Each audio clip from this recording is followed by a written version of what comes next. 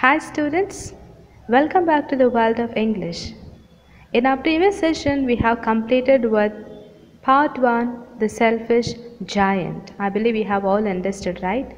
Now, today we are going to discuss, or you know, in our uh, today's session, we are going to see The Selfish Giant part 2. Okay, so let's begin it. One morning I was lying awake in bed when I heard some lovely music.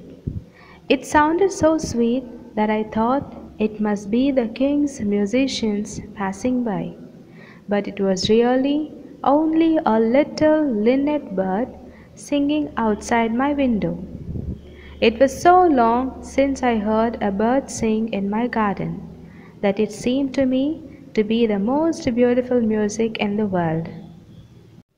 So, dear students, the old giant says, okay, one day, one morning, when it was lying, when the old giant was lying in bed, he heard some lovely music. Okay, the sound sounded so sweet, and uh, the old giant thought that it must be the king's musicians passing by.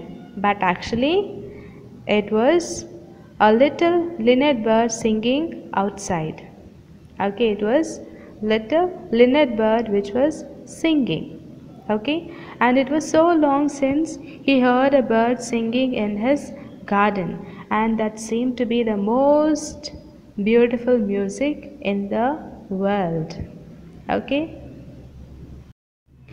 The hail has stopped dancing over my head and the north wind has ceased his roaring. A delicious smell is coming from the window. I believe the spring has come at last.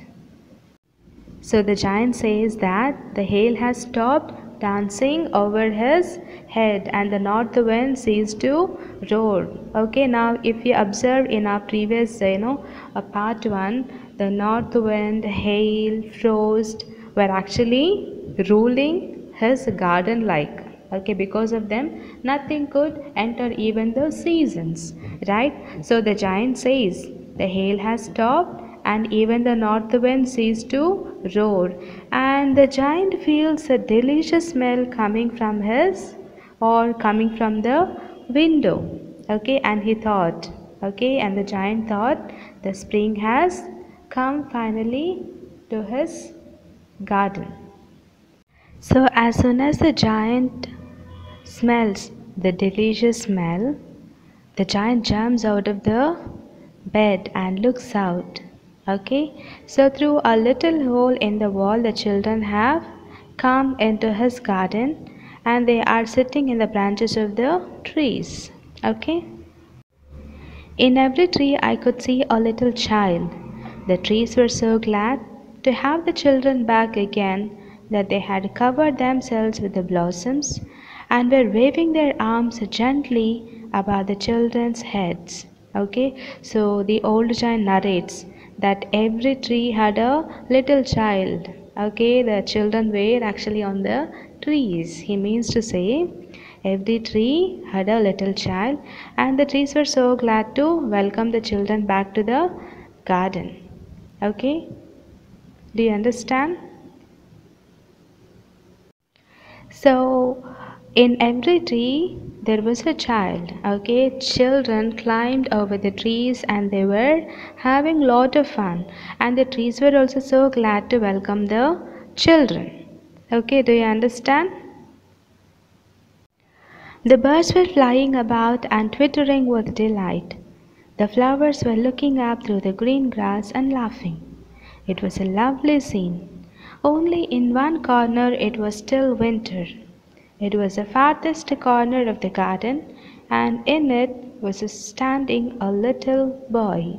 Okay, so the birds could enter the giant's garden. They were freely flying and they were twittering. The flowers were laughing.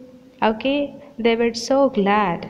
They were so glad, and the scene was very lovely to see. The giant says, okay to see the children playing there and the trees moving the birds singing and twittering and flying the scene was really good but Only in one corner it was still winter, and it was the farthest corner of the garden, and there he found a little boy standing. Okay? He was so small that he could not reach up to the branches of the tree, and he was wandering all round it, crying bitterly. The poor tree was still quite covered with frost and snow, and the north wind was blowing and roaring above it. Climb up, little boy, said the tree, and it bent its branches down as low as it could. But the little boy was too tiny. It was then that my heart melted. Okay, now the old giant says in the farthest corner of the garden it was still winter and he found there was a little boy standing there. He was so small that he could not reach up to the branches of the tree. Okay, and he was crying very bitterly because he could not climb the tree. And the poor tree was still quiet with the frost and snow. The tree was covered with frost and snow, and the north wind was blowing and roaring. Okay, but the little tree says, the tree says, little boy, climb up. And the tree was trying to bend its branches down as low as it could, but still the boy was unable to climb over it because he was too tiny. So when the old giant saw this his heart started melting. Okay, he felt. Do you understand? How selfish I have been. Now I know why the spring would not come here. I will put that poor little boy on the top of the tree, and then I will knock I will knock down the wall, and my garden shall be the children's playground forever and ever. So the giant says, okay, he feels so sorry for being so selfish. And he says that he knew why the spring would not come by because he was very selfish. Okay, so the giant says that he will put the little boy on the top of the tree. Now, why is the boy crying there? He was too tiny to climb the tree. So he's, he stood there and he started crying okay so the giant says that he will put the little boy on the top of the tree and break the walls of the garden. And he says the garden shall be the children's playground forever. Do you understand now? I was really very sorry for what I had done. So I crept downstairs and opened the front door quite softly and went out into the garden. But when the children saw me, they were so frightened that they all ran away and the garden became winter again. Okay, so the old giant says, okay, he says that he feels really sorry for being so selfish. So he decides, he decides to be little more kind and generous. So what he does, he creeps down, he comes down, he comes downstairs and he opens the front door softly and he comes into the garden. But when the giant when the old giant comes into the garden and when the children saw him they were so frightened that they all ran away and the garden became again winter. Okay? So all the children ran away from the garden seeing the old giant. Okay Only the little boy did not run, for his eyes were so full of tears that he did not see me coming. I stole up behind him and took him gently in my arm and put him up into the tree. Okay, so all the children ran away from the garden except this little boy. He was crying bitterly, standing under the tree, not able to climb the tree. His eyes were so filled with the tears that he could not see the giant coming. So he stood there and he continued crying. Okay, now the giant takes a little boy in the hand and the giant puts him into the tree. Okay. And the tree broke at once into blossom, and the birds came and sang on it. And the little boy stretched out his two arms and flung them round my neck and kissed me. When the other children saw that, they came running back, and with them came the spring. Okay, so when the older giant puts the little boy on the tree, okay, the boy stretches out his two arms, okay, and uh, he kisses the old giant, okay, and by then the tree broke into blossom. The birds came and sat on it and sang beautiful songs. Okay, they started twittering. And when the other children saw this, they came back running. Okay, so along with them, the spring came even to the corner of the garden. Do you understand now? It is your garden now, little children. I took a great axe and knocked down the wall. And when the people were going to market at twelve o'clock, they found me, yes, me, playing with the children in the most beautiful garden they had ever seen. All day long we played, and in the evening the children came to bid me goodbye. Okay, so the giant, okay, the giant says to the children that it is their garden. The garden is for the little children. And the old giant takes the axe and knocks down the wall, breaks the wall down completely. Okay? And the children started to come to the garden to play and spend time with the giant. Okay, they could play all day long till the evening and towards the evening the children would come and bid goodbye to the old giant and go away from his garden. Okay?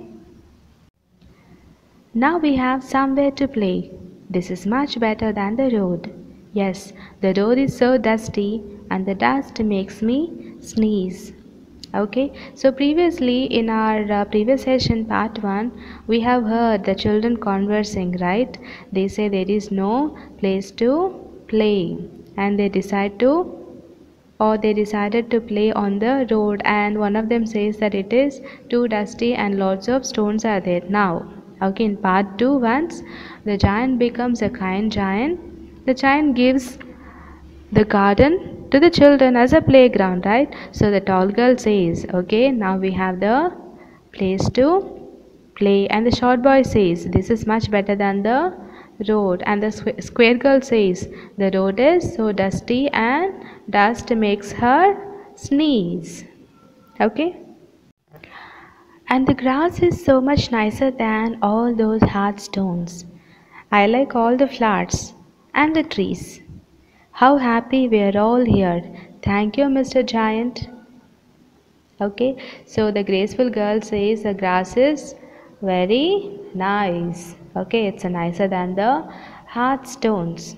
Okay, and the round boy says that he likes all the flowers in the garden, and the graceful girl says even the trees. And the tall girl finally thanks Mr. Giant for allowing or giving them the place to play okay? Yes thank you. You are very nice giant.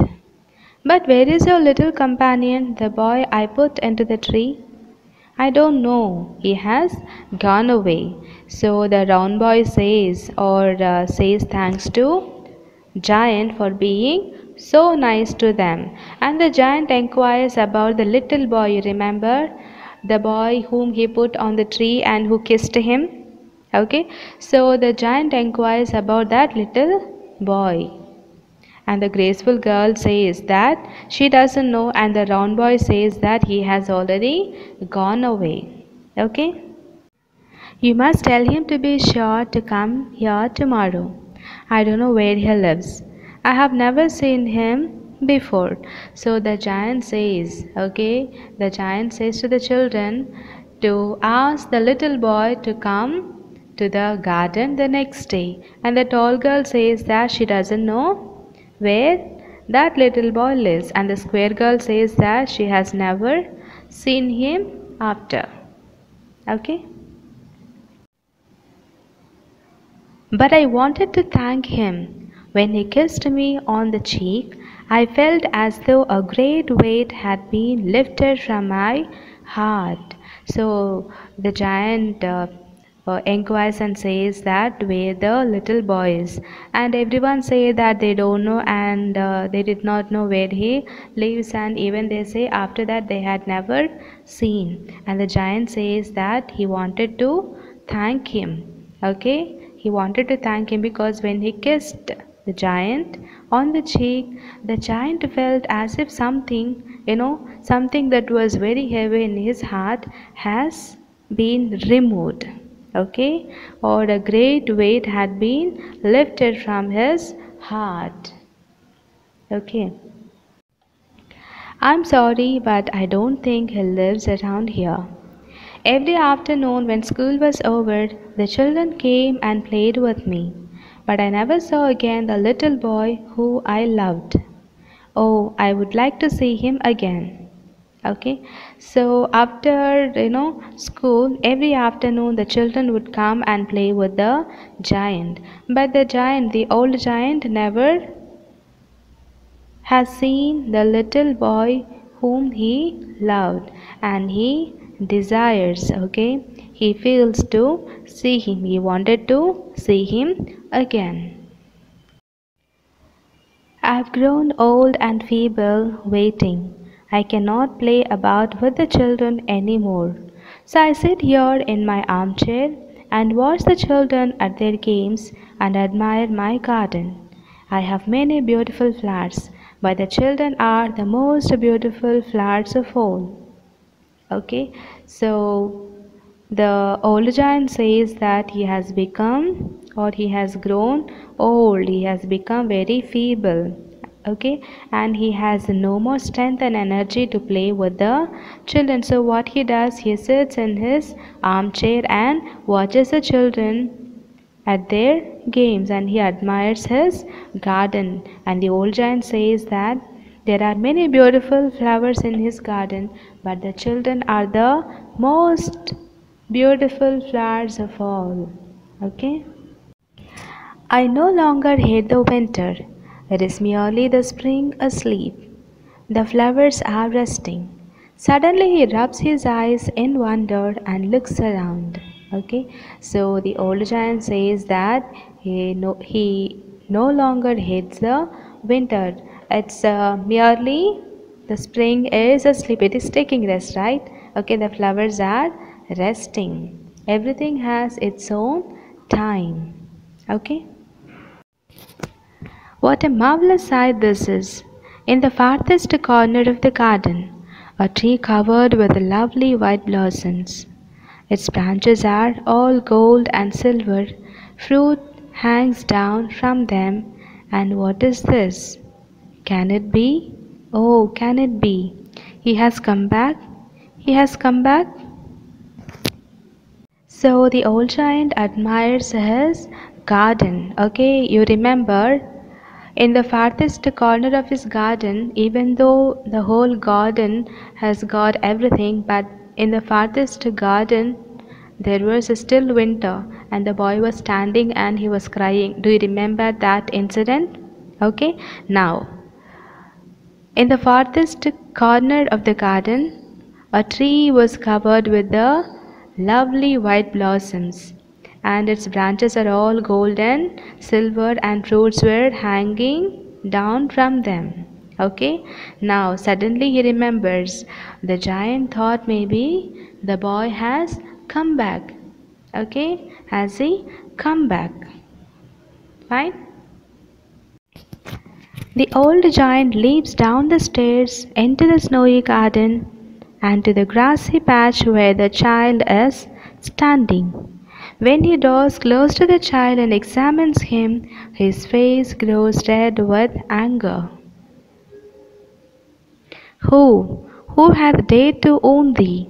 Your hands, your feet, who hath dared to own thee? Tell me, that I may take out my big sword and slay him. So the old giant thought maybe there was the little boy standing. So what he does, he leaps down the stairs and he comes into the snowy garden and to the grass patch where the child is standing. And he draws closer to the child and he examines the child. And the child's face was with lots of wounds. When the old giant sees the child with lots of wounds on him, he becomes very anger. Okay, his face grows red with anger. Whose face grows red with anger? Old giant. Okay, so he asks, Who dared to wound you? Tell me. Okay, he asks, Tell me who has wounded you, boy. And the old giant says that he would take out his big sword and kill them, slay them. Okay? Nay, but these are the wounds of love, they are necessary. Falling to his knees, little child, who art thou? The child says, These are the wounds of love and they are necessary. And the old giant, falling to the knees of the little child, asks, Who are you? Who art thou? Okay? Who are you? You let me play once in your garden. Today you shall come with me to live in my garden, which is in paradise. The child climbs into the old giant's arms. The winter melts away before them as they walk into an ever expanding garden. So, when the old giant asks the little boy, Who are you? and the child says, Okay, let me play once in your garden, and uh, you shall come with me to live in my garden. The child invites the giant to live in his garden which is in paradise. Okay? Now what is meant by paradise? Paradise is a very pleasant place. Okay? So the child says you come with me to live in my garden which is in paradise. The child is inviting the old giant. Okay? Now the giant sorry the child climbs into the old giant's arms. Okay? The giant takes the child. The winter melts away before them as they walk into an ever expanding garden. So, when the children ran into the garden, they found the giant lying dead under the tree and was all covered with white blossoms. Okay?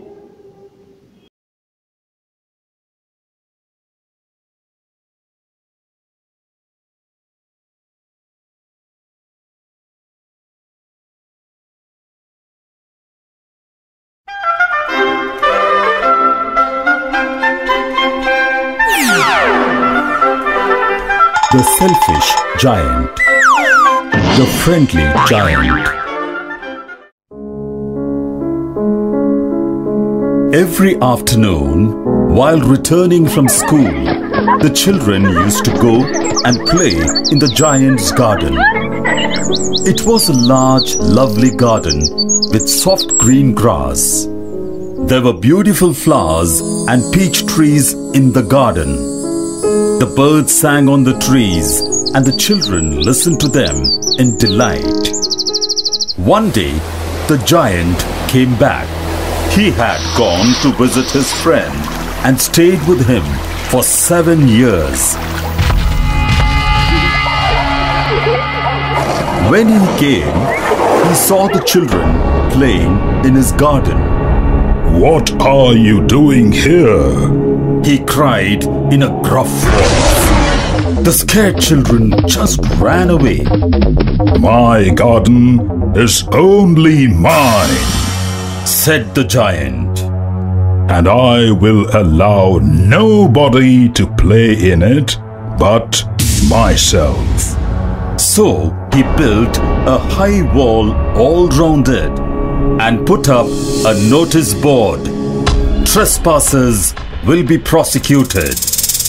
He was a very selfish giant. The poor children had nowhere to play. They tried to play on the road, but the road was very dusty. They wandered around the high walls and talked about the beautiful garden inside. Then came spring, and all over the country there were little blossoms and little birds. Only in the garden of the selfish giant it was still winter. The birds did not care to sing in it, as there were no children. The trees forgot to blossom. I cannot understand why spring is so late in coming. said the selfish giant as he sat at the window of his castle and looked out at his cold white garden. I hope there will be a change in weather. But spring never came, nor did summer. Jumped out of the bed and looked out. There he saw the most wonderful sight. Through a hole in the wall, the children had crept in and they were playing on the trees. The trees were so glad to have the children back again that they had covered themselves with blossoms. The birds were chirping with delight, and the flowers were looking up through the green grass and laughing. It was a lovely scene. As the giant looked out, his heart melted. How selfish I have been. He said, Now I know why spring did not come here. I will knock down the wall, and my garden shall be the children's playground forever and ever. He was really very sorry for what he had done. So he crept downstairs and opened the front door quite softly and went into the garden. But when the children saw him, they were so frightened that they all ran away and the garden became winter again. Only one little boy did not run. He was not able to run, so he started crying. The giant gently picked him up and took him in his arms. The little boy stretched out his arms and flung them around the giant's neck and kissed him.